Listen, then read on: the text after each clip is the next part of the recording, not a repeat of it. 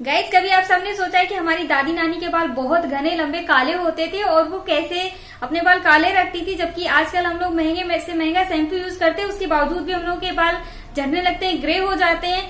तो क्या रीजन था वो कैसे अपने बालों की केयर करती थी और कौन सा नुस्खा यूज़ करती थी तो वो आज मैं आपके साथ शेयर करने जा रही हूँ, क्योंकि वो मैं अपने बालों में भी ट्राई की हूँ और मैं वो करती हूँ अपने बालों में और एक टाइम ऐसा आया था कि मैं बहुत ज़्यादा बीमार हो गई थी, जिसकी वजह से मेरे बाल ऐसे गुच्छों में टूटते थे और मम्मी हमेशा कहती थी, एक दिन तुम गंजी हो जाओगी। तो मैं भी बहुत परेशान रहती थी डिप्रेस हो गई थी। उसके बाद मैंने ये होम मेड शैम्पू बनाया, इसको बालों में अप्लाई करना स्टार्ट कर दिया और दो महीने के अंदर जो मेरे बाल झड़ गए थे, वो छोटे छोटे बाल उग आए न्यू हेयर ग्रोथ आई और उसके बाद मैंने इसको दो साल लगातार यूज़ किया और मेरे बाल बहुत ज़्यादा घने हो गए। जितने मेरे बाल घने थे नहीं, उससे भी ज़्यादा हो गए। तो यू कैन सी ये मेरे लॉन्ग हेयर्स हैं और मैंने चैनल पे शेयर भी किया है अपने हेयर्स की लेंथ और अपने लॉन्ग हेयर्स तो आप मेरे चैनल पे जाके चेकआउट कर सकते हैं और मैंने उसमें बहुत सारी होम रेमडीज भी हेयर ग्रोथ के लिए बताई, आप वो भी अप्लाई कर सकते हो। बहुत सारी होम रेमडीज भी अगर आपने ट्राई कर लिया और आपके बालों पे कोई असर नहीं दिखा रहा है तो ये होममेड शैम्पू इसको आप अपने बालों पे अप्लाई करिए आप। फ़र्क देखेंगे आपके, जो झड़े बाल थे वापस आ जाएँगे और घने लंबे हो जाएँगे। इसमें मेन तीन इंग्रेडिएंट होते हैं, रीठा, आंवला सिकाकाई रीठे से झाग आता है, जैसे शैम्पू में झाग होता है तो बालों की सफ़ाई करता है। और सिकाकाई से बालों में साइन आती है और आंवला बालों के लिए रामबाड़ है। बालों को काला करता है स्ट्रॉन्ग करता है। ये होममेड शैम्पू बालों के लिए रामबाड़ है। और आप इसको डेफिनेटली यूज़ करें। आप चाहें तो इसमें मेथी सीड भी ऐड कर सकते हैं, कलौजी भी ऐड कर सकते हैं, जिससे इसकी गुडनेस और ज़्यादा बढ़ जाएगी। इसके गुणों में वृद्धि होगी, जिससे हमारे बाल बहुत ज़्यादा अच्छे हो जाएँगे। और मैंने इसको यूज़ किया है, इसलिए मैं आपको रिकमेंड कर रही हूँ। अगर आपने बहुत चीज़ें ट्राई कर ली, उसके बाद भी आपको फ़ायदा नहीं हो रहा है तो आप इसको डेफिनेटली यूज़ करें और आपको ये इजिली किराने के स्टोर पे मिल जाएगा या ऑनलाइन भी मिल जाएगा तो आप वहाँ से परचेज कर लें। और इसकी प्रोसेस क्या है, कैसे अप्लाई करना है, वो समय आपको बता दूँगी। तो वीडियो पसंद आई हो तो लाइक करना, ज़्यादा से ज़्यादा शेयर करना, जिससे इस वीडियो से बहुत लोगों को फ़ायदा हो सके। और नए हो तो चैनल को सब्सक्राइब भी करें। तो इसकी प्रोसेस देखते हैं।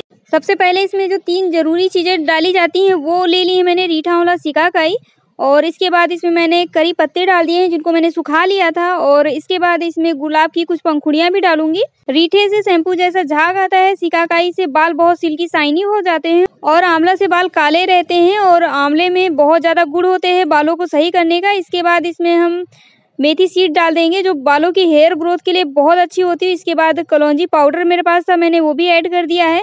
और पानी डाल के इसको मिक्स कर देंगे अच्छे से। ओवरनाइट के लिए हमें छोड़ना है। जिससे ये अच्छे से भीग जाए, अगले दिन ही हम शैम्पू बनाएँगे। और इसको जिस बर्तन में रखा था हमने, आप चाहें तो इसको कढ़ाई में भी बना सकते हैं। मैंने इसी बर्तन में बनाया है और इसको पंद्रह मिनट के लिए पकाना है। जिससे इसमें जो भी चीज़ें हैं, वो गल जाएँ या हाथ से दबाने से वो दब जाएँ अच्छे से। और अब ये पक रेडी हो गया है और ठंडा कर लिया है मैंने।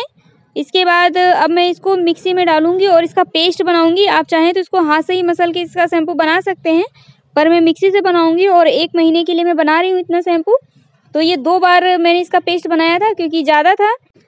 और ऐसे ही दूसरी बार भी पेस्ट बना लेना है। तो देख सकते हैं, पेस्ट बनके रेडी हो गया है। इसके बाद इसमें थोड़ा सा हमें पानी डालना है क्योंकि इसे दो मिनट के लिए अभी गैस पे रखना होगा और थोड़ा सा बस हल्का सा पानी गर्म करके इसको जलाना है। तो ये मैंने गैस पे रख दिया है और थोड़ा सा इसका पानी जला दूँगी। इसके बाद इसको बंद कर देंगे और ठंडा होने तक हम इसका वेट करना है हमें।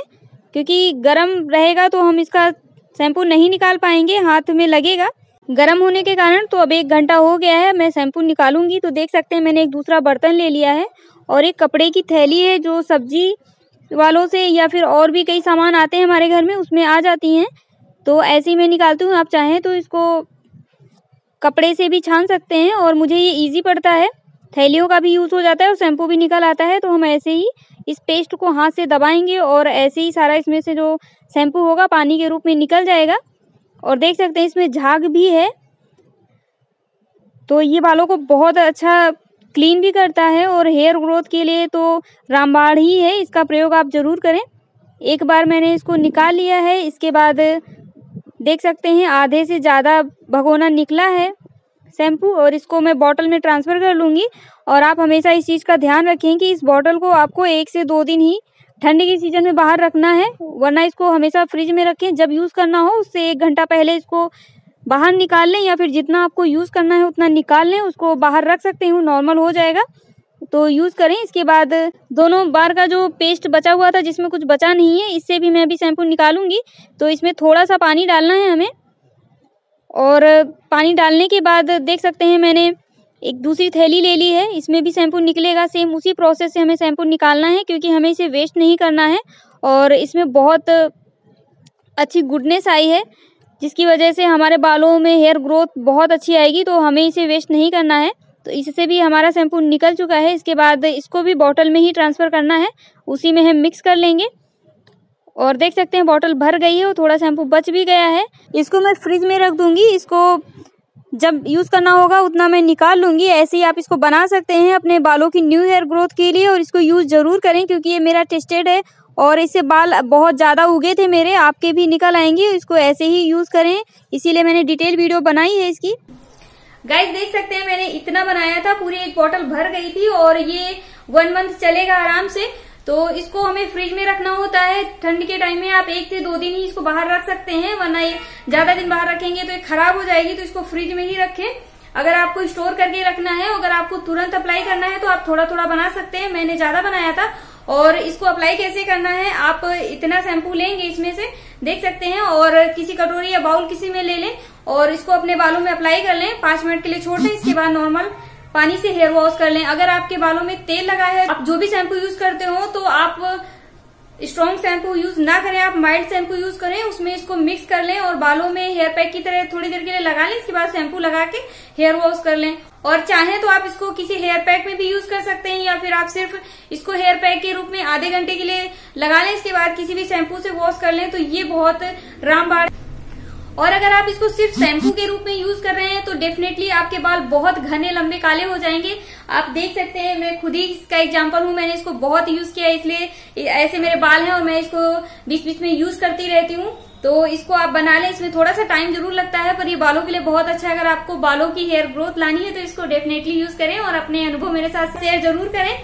क्योंकि मुझे इससे बहुत ज़्यादा फ़ायदा हुआ था तो मैं भी चाहती हूँ मेरी फैमिली के मेंबर जो भी मेरे वीडियोस देखते हैं, वो उन सबको फ़ायदा हो। अगर उन लोगों को लॉन्ग हेयर चाहिए तो उनके लॉन्ग हेयर्स हो जाएँगे और सबको लॉन्ग हेयर्स पसंद होते हैं, बस उनकी थोड़ी केयर करनी पड़ती है, बस वो हो जाते हैं। तो आप अपना ध्यान रखिए, अपने बालों का ध्यान रखिए और इस शैम्पू को यूज़ ज़रूर करें। और इसने क्या इफ़ेक्ट दिखाया आपके हेयर्स पे, वो भी बताना। और इसको आप रेगुलर यूज़ करें। ऐसा नहीं कि एक दिन में ही ये असर करेगा। धीरे धीरे आपके बाल वापस आ जाएँगे। पर इसको रेगुलर आपको यूज़ करना है। उसके बाद आप अपना अनुभव बताएँ और ये आपके नए बाल उगा देगा, ये मैं पूरी गारंटी लेती हूँ, क्योंकि ये टेस्टेड है पूरा और मैंने इसको काफ़ी टाइम यूज़ किया है, इसलिए मैं आपके साथ शेयर कर रही हूँ। अपना अपनी फैमिली का, अपनी स्किन का, अपने हेयर्स का ध्यान रखिए। मिलते हैं नेक्स्ट वीडियो में।